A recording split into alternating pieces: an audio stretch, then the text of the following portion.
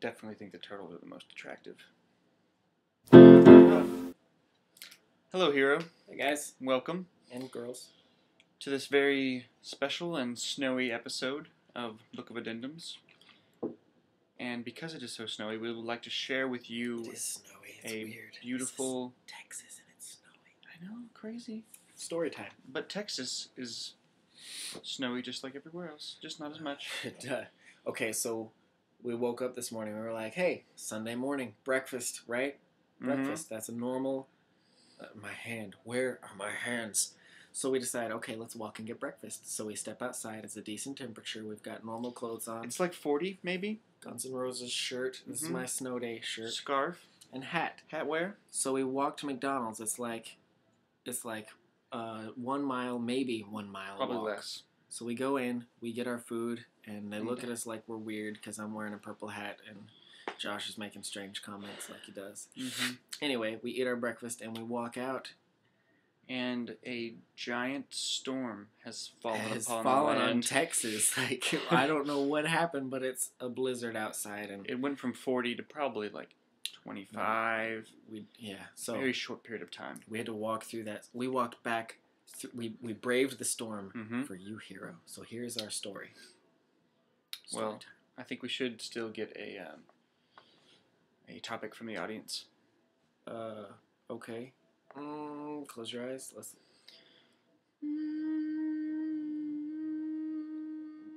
Wow, you're, you're dirty. You are dirty.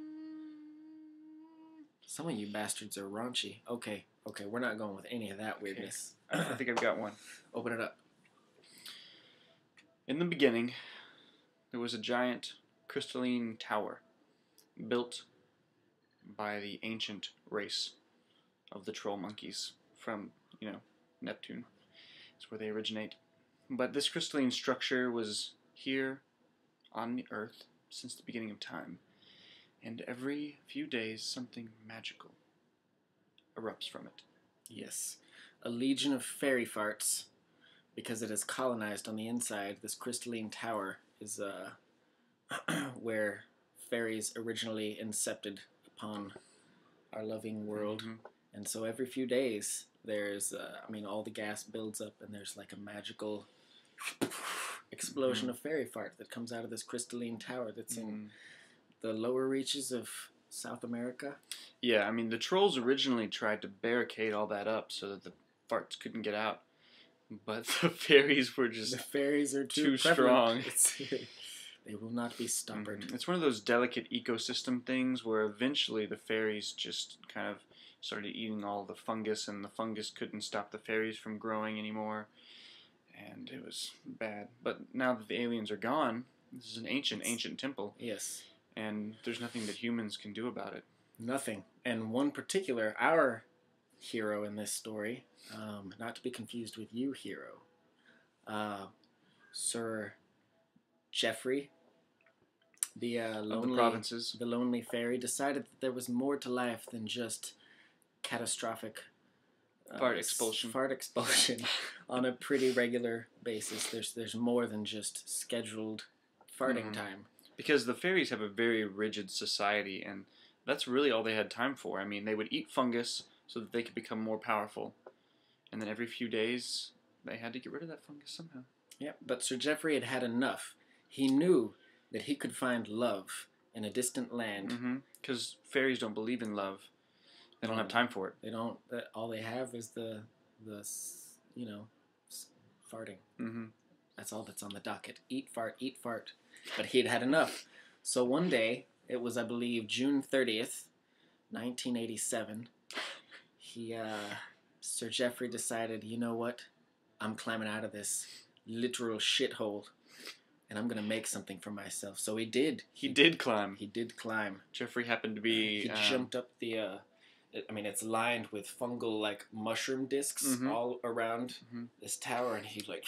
and you have to understand how hard this was for Geoffrey because even though he didn't like the fairy docket he did respect other fairy peoples and did not want to hurt them but He every didn't. time He, he jumped from one mushroom to another, he knew that those fungal mushrooms would fall to the ground and not be able to be eaten anymore. And so but he took that risk anyway. He did. He Marioed his way up the, if you will. I mean, mm-hmm. I'm assuming some of you have played Mar. Anyway, he got out of the crystalline tower. It took him seven long days. Seven long days. Because it's a very tall tower. and he couldn't really eat all those days because he was jumping on all his food and they were falling. hmm Although uh, luckily it's very misty in that crystalline tower, so he had plenty to drink. so when he got out and he started making his way through, you know, South America, um, Mhm. up into Chihuahua, he came across some some some coffee beans for the first time in his life. He ate something other than mushroom,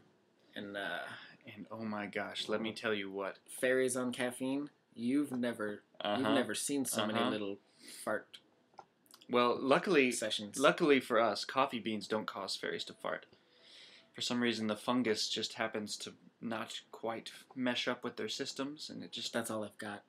But the coffee beans actually have a triple reaction with fairies because they're already three times as fast as humans. So the caffeine from the coffee beans is processed very quickly, Mm-hmm. And it basically turned him into some kind of superhero. At least superhero, a fa- a fairy what we level superhero. a superhero. I mean, if we did what he did relatively, we would be considered superhuman. hmm But he's like super fairy. Exactly. So Okay. we're gonna from now on refer to him as Super Fairy Geoffrey. Yes. So Sir Super Fairy Geoffrey, Grabbed up a bunch of these coffee beans. bunch of coffee beans because he knew he would need them to liberate his people. hmm and he hired three little uh, roly poly hmm things. You know those like roly polies that sometimes come into your house during the winter and uh, roll up in your bathroom because it's warm. Well, he hired three roly poly captains, Yes, they were each wearing which, armor hmm each of which had their own legion of roly poly warriors. Mhm, and pikes. They all had pikes. pikes. Because Geoffrey knew that to take out the crystalline tower, he would need help, hmm and he would have to win the approval of the termite king. And the only way to do that is to woo the termite princess. And the only way to woo the termite princess is, of course,